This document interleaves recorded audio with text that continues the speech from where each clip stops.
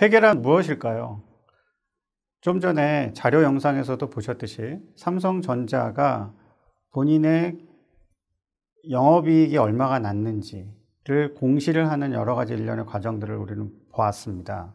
결국은 기업이 일정한 기간에 경제적인 활동을 측정해서 이익이 얼마가 났는지 그리고 또 자기네들의 어, 자산, 부채, 자본은 어느 정도가 되는지 이러한 정보들을 요약해서 어, 그 정보 이용자들한테 제공하는 측정해서 보고하는 일련의 과정들을 우리는 보통 회계다 이렇게 말을 합니다. 그리고 회계 시스템을 통해서 산출되는 이러한 정보를 이용해서 우리는 각종 다양한 정보 이용자들이 있는데 이 정보 이용자들은 이렇게 산출된 재무제표들의 회계 정보를 이용해서 각종 의사결정들을 행하는 것이 일반적입니다. 그러면 정보 이용자들한테는 도대체 어떤 종류의 정보 이용자들이 있을까요? 첫 번째, 내부, 기업 내부에서도 회계 시스템 이용한 회계 정보를 이용해서 각종 의사결정을 합니다.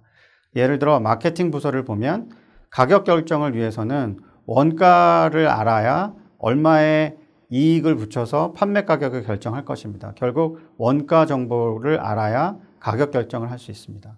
재무부서도 또한 자금의 조달 방법이나 얼마만큼 배당을 할지 등을 결정하는 것도 회사의 성과나 자금의 상태, 여러 가지 회사 사정들을 알아야 결정할 수 있습니다. 이 또한 회계 정보를 통해 산출됩니다. 인사부서의 임금 인상도 마찬가지입니다. 이번 연도에 임금 인상을 얼마를 해줄 수 있을지는 회사의 성과와 밀접한 관련이 있습니다. 따라서 회계 정보를 알아야 임금 인상에 관한 결정을 할 수 있습니다. 경영자들은 일반적으로 회사의 성과에 따라서 각종 보너스가 지급되는 것이 일반적입니다. 그러려면 성과 평가를 해야 되고 이 성과 평가 역시 회계 시스템에서 산출되어 있는 정보에 의해서 결정되는 것이 일반적입니다. 회사 내부 이용자들 말고 회사 외부 이용자들 또한 어, 회계 정보를 이용해서 각종 투자 의사 결정들을 합니다. 그 예로서 주주, 금융기관들의 채권자, 그 다음에 회사와 거래하는 거래처, 그 다음에 회사의 물건을 소비하는 소비자, 그 다음에 경영자들의 보상과 관련되는 노조, 그 다음에 정부, 어, 각종 규제기관, 이런 규제기관들도 역시 회사가 공시하는 회계 정보들을 이용해서 의사결정을 하는데요. 이는 찬찬히 다음을 통해서 알아보겠습니다. 이 슬라이드에서는 기본적으로 지금 현재 자본시장에서 주요한 역할을 하고 있는 각종, 어, 각종 플레이어들에 대해서 하나씩 알아보려고 합니다. 첫 번째, 투자자들입니다. 투자자들은 어, 예를 들어 투자는 두 가지 종류의 투자를 할 수가 있는데요. 첫 번째 기업의 주식을 사들여서 어, 주주가 되는 형태로 주식에 어, 저 기업에 투자를 할 수 있고요. 두 번째는 회사가 발행하는 채권을 사용함으로써 회사에 돈을 빌려주는 형태로 기업에 투자를 할 수도 있습니다. 그러나 보통 이 두 가지 투자를 하기 전에 보통 투자자들은 회계 정보를 통해 기업에 관련되는 각종 어, 그 성과 지표들을 먼저 공부하는 것이 일반적입니다. 예를 들어 주식을 산다고 가정을 해보죠. 그러면 주식의 주가가 상승을 하는 것을 어, 예상을 하고 보통 그런 그 자본 이득을 얻기 위해서 일반적으로 어, 주식을 투자를 할 것이고요. 채권에 투자하는 사람들은 돈을 빌려주고 그와 관련되는 이자를 받고 만기에 투자한 금액의 원금을 회수받기 위해서 투자를 할 것입니다. 그러면 이 투자자들 입장에서는 이 회사의 주식이 올라갈 건지 내려갈 건지 혹은 이 회사가 이자를 갚을 능력이 있는지 만기의 원금을 상환할 능력이 있는지를 평가를 하여야만 투자 의사결정을 할 수 있겠죠. 그 의사결정에 가장 중요한 정보를 제공하는 것이 바로 회계 정보입니다. 그러나 여기에 문제가 있습니다. 왜냐하면 회계 정보는 경영자가 작성을 해서 제공하는 정보이기 때문에 경영자가 임의적으로 왜곡되어 있는 회계 정보를 어, 투자자들한테 제공해 줄 가능성이 항상 상존하고 있습니다. 따라서 이때 외부 감사인이라는 공인회계사들이 어, 회계 정보를 들여다보고 어, 그 회계 정보가 어떤 일정한 기준에 의해서 작성되어 있, 올바르게 작성되어 있는지를 어, 그그 객관적인 의견을 표명해 주는 역할을 합니다. 그리고 어, 그 경영자는 회사로부터 수수료를 받는데 그걸 보통 감사 수수료라고 얘기를 하죠. 그리고 경영자는 어, 보통 굉장히 우수한 감사인에서 감사를 받았다는 것이 본인의 회계 정보의 신뢰성을 훨씬 더 제고시킬 수 있을 수 있기 때문에 보통 어, 그 유명한 감사인들하고 감사를 맺어서 그 감사인이 회계 정보를 어, 보고 의견을 독립적인 의견을 표명해 주는 걸 아주 중요하게 생각을 하고 있습니다. 어, 그러나 최근에 몇 가지 대우조선 해양이나 회계 부실 사건들에서 보듯이 어, 어, 반드시 회계 그 외부 감사인들이 제대로 되어 있는 의견을 표명하지 않을 가능성도 있습니다. 이는 대부분 어, 그 회계 감사인이 경영자들로부터 감사 수수료를 받기 때문에 경제적으로 독립되어 있지 않을 가능성들 때문에 발생하는 일들입니다. 그러나 회계 감사인들은 어, 회계 감사 경영 감사의 실패로 인한 것들이 나타날 경우에 어, 본인이 갖고 있는 여러 가지 좋은 평판을 잃고 이 회계 시장에서 퇴출되어 있는 위기도 어, 있고요. 또한 법률적으로는 여러 가지 투자자들이나 어, 정보 이용자들로부터 소송을 당할 위험들이 있기 때문에 그 사이에서 위험도 줄여야 하고 또 경제적인 이득도 취해야 되는 여러 가지 상황에서 어, 의사결정을 하는 것이 일반적입니다. 그게 첫 번째의 감사인들이었고요. 두 번째로는 경영자들입니다. 이 경영자들은 본인이 어, 주주들의 이해관계와 같이 어, 그 기업의 가치를 증가시켜야 되는 이해관계도 있지만 역시 때에 따라서는 본인 스스로의 이해관계에 의해서 어, 여러 가지 어, 주주들의 이해관계와 혹은 채권자들의 이해관계와 상충되는 일을 하기도 합니다. 예를 들면 본인의 보너스 성과가 보너스에 미치는 영향이 크기 때문에 단기적인 성과에 급급한 나머지 이익을 상향으로 조정해서 공시를 한다든지 할 가능성도 있습니다. 따라서 채권자나 혹은 주주들은 이러한 경영자들의 행동을 잘 모니터해서 어, 본인들의 이해관계와 일치시키는 방향으로 여러 가지 어, 보너스 계약이나 인센티브를 지급하는 방향으로 이러한 부작용을 최소화하는 데 노력을 어, 하고 있습니다. 세 번째 플레이어는 재무 분석가 혹은 애널리스트라고 하는 사람들입니다. 이런 사람들은 보통 회계 정보를 굉장히 전문적으로 해석하고 이해할 수 있는 능력을 갖고 있는 전문가들입니다. 따라서 보통 어느 특정한 산업에 속해져 있는 여러 가지 회사들을 밀접하게 모니터하고 그러한 회사들의 이익 수치가 어떻게 될지 혹은 주가가 어떻게 될지를 예측하고 분석 보고서를 투자자들한테 제공하는 역할을 합니다. 그리고 이러한 어, 사람들이 어, 일반적으로 어, 주가와 관련되는 영향들을 시장에 제공을 하기 때문에 보통 시장이 기대하는 이익치를 형성하는 데 아주 중요한 역할을 합니다. 아까 앞서서 본 자료화면에서 깜짝 실적이라고 얘기를 했을 때 어떤 기준이 되어지는 벤치마크가 있어야 될 텐데 보통 이러한 재무 분석가들의 이익 예측치를 기준으로 그것보다 더 높은 예, 높은 이익 실적치를 발표할 경우에 보통 깜짝 실적이다 이렇게 얘기를 합니다.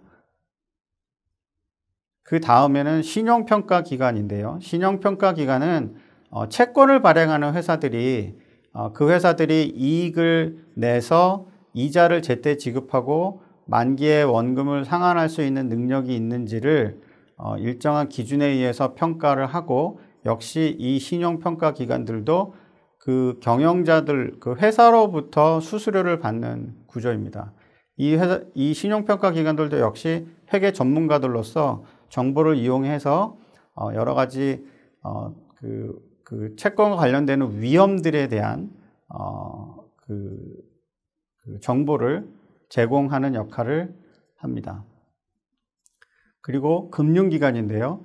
어, 기업은 채권을 발행해서 일반 투자자들로부터 자금을 빌려올 수도 있지만 어, 우리나라의 경우에는 금융기관에 의존하는 어, 비율이 훨씬 더 큽니다. 왜냐하면 금융기관들은 어, 굉장히 큰 규모의 금액을 한꺼번에 제공해 줄 수 있는 여력을 갖고 있기 때문이죠. 따라서 채권자들과 채권에 투자했던 투자자들과 이해관계가 되게 비슷합니다. 금융기관들도 대출을 해줬을 경우에 대출 이자와 원금을 제대로 받을 수 있는지 이러한 것들에 굉장히 관심이 많고요. 그를 위해서 역시 회계 정보를 이용해서 그거를 평가하기 때문입니다. 마지막으로 어, 감독기관, 즉 정부의 감독기관들이 있는데요. 어, 예를 들면 어, 국세청, 국세청은 기본적으로 기업들의 세금을 제대로 냈는지를 평가하는 기관들이고요. 이러한 자본시장에서 각종 어, 금융감독원, 은행이나 보험을 감독하는 그런 감독원들도 이러한 그 경영자들이나 이 앞서 말했던 여러 가지 플레이어들이 제대로 룰에 의해서 역할을 하고 있는지를 감독하는 그런 역할을 하는 것이 일반적입니다. 자, 지금까지는 자본시장에서 어, 중요한 역할을 하고 있는 여러 가지 플레이어들의 어, 역할과 그들의 어, 인센티브와 이런 것들에 대해서 간단하게 살펴봤습니다. 자, 다음은 그러면 회계 정보는 어떠한 형태로 투자자들 혹 정보 이용자들한테 제공되는가? 바로 재무제표의 형태라는 것으로 어, 전해집니다. 주요 재무제표에는 크게 네 가지의 주요 재무제표가 있습니다. 첫 번째 재무 상태표라는 것이 있고요. 어, 재무 상태표는 어, 제, 대차 대조표라고도 예전에는 불렸습니다. 영어로는 Statement of Financial Position이라고 얘기를 하는데요. 이거는 어느 특정 시점, 예를 들어 12월 31일자 기준으로 자산이나 부채나 어, 자본의 금액이 얼마를 갖고 있는지에 대한 상태를 나타내는 어, 그 재무제표입니다. 두 번째 손익계산서는요, Income Statement이라고 하는데요. 어, 손익계산서는 기업의 경영 성과, 일정 기간 동안의 경영 성과를 나타내는 것입니다. 역시 앞서서 봤었던 자료화면이랑 비슷한데요. 삼성전자가 발표했던 어느 한 분기 동안 혹은 1년 동안 본인들이 어, 창출해낸 영업이익이 얼마이고 라고 보고하는 것처럼 일정 기간 동안에 어, 기업이 만들어낸 이익과 어, 손익을 보고해주는 역할을 하는 재무제표가 손익계산서입니다. 세 번째로 현금 흐름표는 어, 기초의 현금과 기말의 현금의 증감 부분이 있을 텐데요. 그 증감을 어, 설명해주는 역할을 하는 것입니다. 아, 기업은 유동성의 문제이기 때문에 아, 유동성과 관련돼서 현금이 매우 중요합니다. 순이익도 중요하지만 현금 흐름이 매우 중요한데요.